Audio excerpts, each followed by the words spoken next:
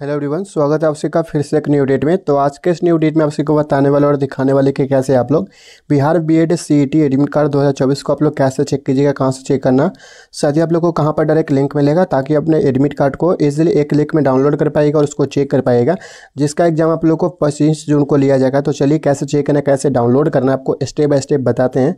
तो इसके लिए अपने मोबाइल फ़ोन या लैपटॉप में कोई से ब्राउज़र को ओपन करना वीडियो को शुरू से लेकर के अंत तक देखना, ताकि आप सही को एडमिट कार्ड डाउनलोड करने के दौरान कोई भी दिक्कत या प्रॉब्लम नहीं हो। तो सिंपली से यहाँ पर हिंदुस्तान जॉब्स नेट लिखकर सर्च करना H I N D U S T A N Hindustan. J O B S jobs in net लिखकर आपको सर्च करना है।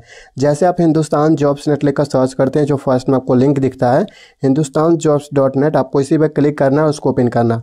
ओपन करेगा इस तरह से पर साइट ओपन हो जाएगा तो आप लोग को क्या करना थोड़ा सा नीचे आना जैसे नीचे आएँगे तो आप लोग को एडमिट कार्ड के सेक्शंस में यहाँ पर देखने को मिल जाएगा, Bihar B Ed C E T admit card दो तो आप लोग को क्या करना है, इसी लिंक पर आपको क्लिक करना है, उसको ओपन कर लेना है।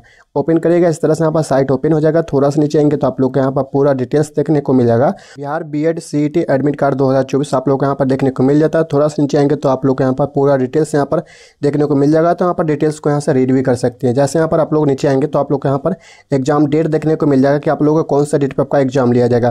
तो यहाँ से आप लोग एग्ज़ाम डेट को देख सकते हो। यहाँ पर ऑफिशियल साइट का लिंक दिया गया है। यहाँ से भी आप लोग एडमिट कार्ड को ईजिली डाउनलोड कर सकते हैं।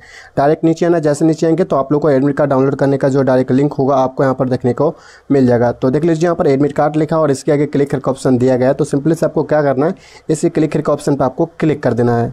जैसे क्लिक करेंगे, इस तरह से जो ऑफिशियली साइट होगा, यहाँ पर ओपन हो जाएगा तो थोड़ा सा नीचे आएँगे, जैसे नीचे आएँगे तो आप लोग यहाँ पर देखने को मिल जाता है ऑनलाइन रजिस्ट्रेशन तो आप लोग को क्या करना है? आपको इसी पर क्लिक करना है। आप जैसे क्लिक करेंगे इस तरह से यहाँ पर साइट आपके पास ओपन हो जाएगा और आप लोग को यहाँ पर सिंपली से यहाँ पर जो साइन इन का ऑप्शन देख रहे हैं आपको, इस साइन इन का ऑप्शन पर क्या करना है?